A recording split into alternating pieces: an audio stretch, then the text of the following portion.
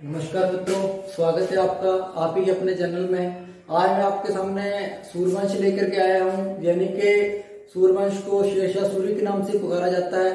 तो आइए आज अध्ययन हमारा शुरू करते हैं, यानी कि सूर्यवंश फिर शेषा सूर्य के नाम से।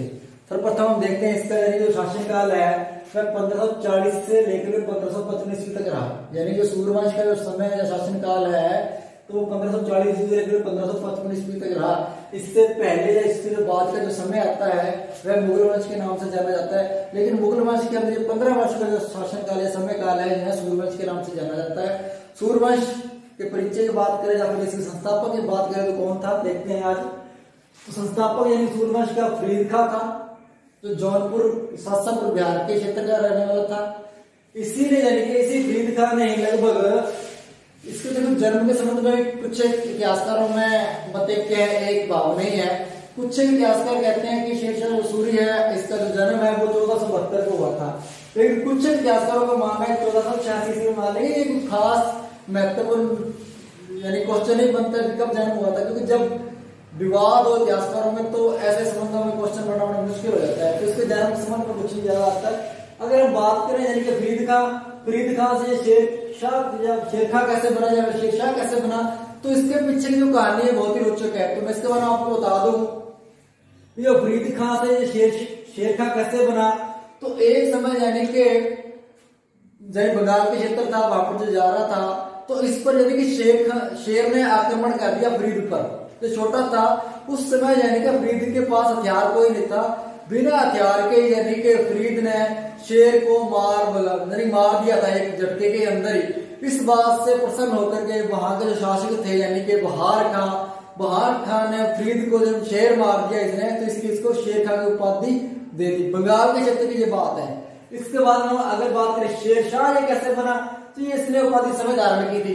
कहाँ पर, कैसे धारण की थी? इसके बारे में आगे मैं भी आपको बताने जा रहा हूँ। तो इससे पहले हम बात करें यानी तो फरीद ने अपना शासनकाल तो शुरू कर लिया, लगभग पंद्रह सौ चालीस ईस्वी के, कैसे शुरू किया वो आगे बता दूँगा लेकिन जो इसका साम्राज्य था कहाँ तक फैला हुआ था तो इसके बारे में बता दू। कनौज कनौज के क्षेत्र का ये रहने वाला ही था। असम, उत्तरी हिमालय, पूर्वी बंगाल, उसके बाद अगर हम बात करें राजपूती यानी कि साम्राज्य की, अजमेर, मेवाड़, जोधपुर, पिशावर, यानी पिशावर बोले तो पूरा इधर पश्चिम वाली साइड उत्तर चला गया। तो ये सारे क्षेत्रों पर यानी के शेरशाह सूर्य ने सूर्यवंश या सूर्य साम्राज्य की यानी कि सीमा को बढ़ाया था।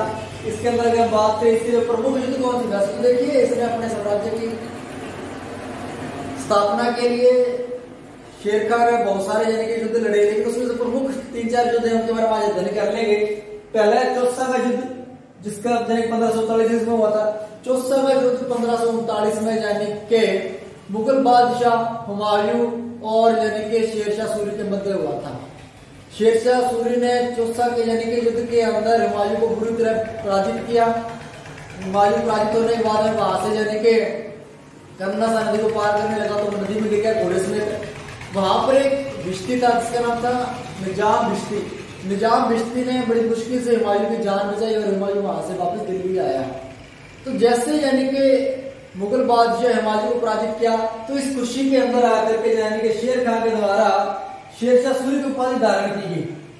पहले फरीद खान था था उसने शेर को मार दिया तो शेर खान बन गया। अब क्या है, मुगल बादशाह हिमाचल को चौसा के युद्ध के अंदर पराजित किया पंद्रह में और समय को शेरशाह की उपाधि से निर्वाचित कर लिया।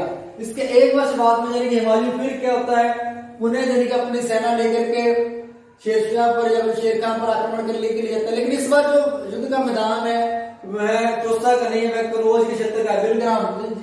यानी कि जिसे कनौज या फिर बिलग्राम का युद्ध कहा जाता है, जब पंद्रह सौ चालीस ईस्वी में हुआ था। इसमें क्या हुआ, देखते हैं।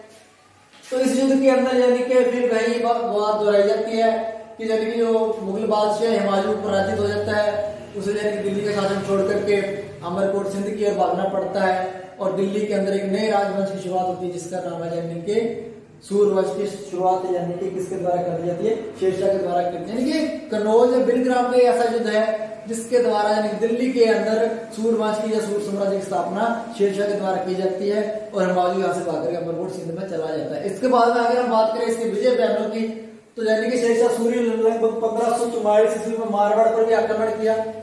उस समय यानी कि मारवाड़ का शासक था बुरा मालदेव था अब इसके अंदर भी काफ़ी पीछे किरवंतियाँ मैंने पूरी वीडियो के अंदर बताई है, आगे बता दूँगा।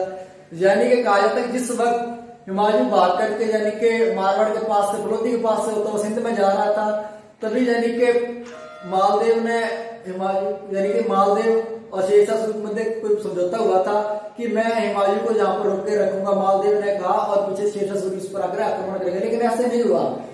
हुमायूं के राम मालदेव ने कुछ किसी प्रकार सहायता नहीं की और ना हिमालय को रोक पाया। काफ़ी पीछे की लंबी स्टोरी इसके।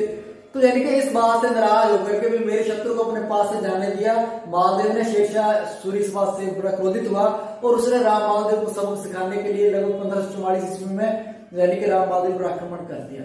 लेकिन यह आक्रमण सफल नहीं हो रहा था। लेकिन हुआ क्या? जैसे उसे पता चला विशेषासुरी को भी राम मालदेव मित्र प्राय तो उसने छल कपट किया, कहा जाता है किसने?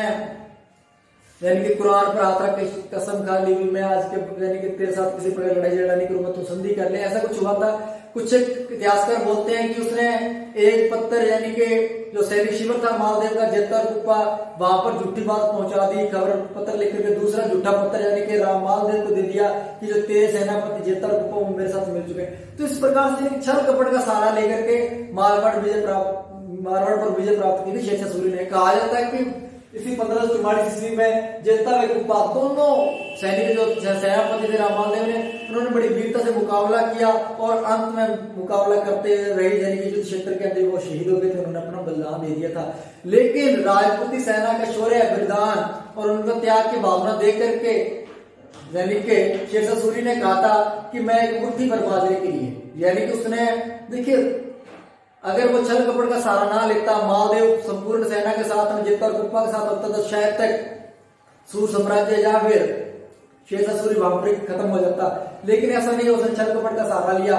इसी कारण मैं कहता कि अगर मैं छल कपड़ का सहारा नहीं लेता तो यानी कि एक मुट्ठी भर बाजरे यानी कि छोटा सा रेगिस्तान का क्षेत्र है, इस मुट्ठी भर बाजरे के लिए मैं संपूर्ण दिल्ली सल्तनत की बादशाह खोल बैठता।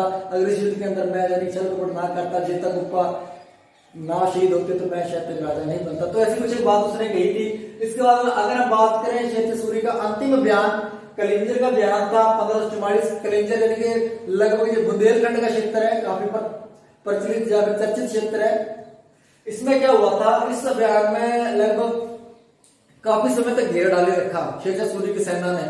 लेकिन एक दिन, काफ़ी समय के बाद में, यानी कि वहाँ पर भी इसी प्रकार के एक है कि काफ़ी समय के घेरे के बाद में वहाँ के जो शासक थे, उन्होंने यानी किले के जो महल के यानी कि मुख्य दरवाजे को नहीं खोला था। फिर वही यानी कि शेषासुर ने छल कपट किया, कुरान की शपथ खाई मैं तेरा संधि कर लूँगा, कुछ पैसे देकर लेकर के तेरे चला जाऊँगा। लेकिन ऐसा कुछ नहीं हुआ। छल कपट किया, उन्होंने किले के मुख्य दरबार को खोल दिया। शेषासुरी ने वहाँ पर काफ़ी लूटमार भी की। कहा जाता है कि उसी घेरे के दौरान कलेक्टर के घेरे के दौरान ही बारूद का ढेर था, वहाँ पर जो मोर्चा संभाले क्षेत्र खुद था तो इसने जैसे तोप के गोले को शुरू किया तो कहा जाता है कि किले की दीवार के साथ लगकर गोला यानी कि तोप का था, वो वापिस आकर के बारूद के ढेर पर गिरा और वहाँ पर यानी कि शेषा सूर्य खड़ा हुआ था और शेषा सूर्य उसी बारूद के विस्फोट के अंदर मारा जाता है। तो ये जो थी शेषा सूर्य की कहानी, इसके बाद जो शासक आते हैं वह कुछ लंबे समय तक शासन नहीं कर पाते और इसके बाद शासक है, वो इस्लाम शाह है अब आगे बात रहेगी शेख सूरी द्वारा किस प्रकार से प्रशासनिक व्यवस्था को सुदृढ़ किया गया, या फिर किस प्रकार से स्थापत्य कला को बढ़ाया गया, साहित्य को बढ़ाया गया, या फिर कृषि से संबंधित क्या सुधार किए गए, इसके संबंध में जो अध्ययन है, वो हम हमारी अगली वीडियो के अंदर करेंगे। अगर वीडियो लाइक अच्छी लगे तो लाइक, कमेंट, शेयर और चैनल को ज़रूर सब्सक्राइब कीजिए। धन्यवाद।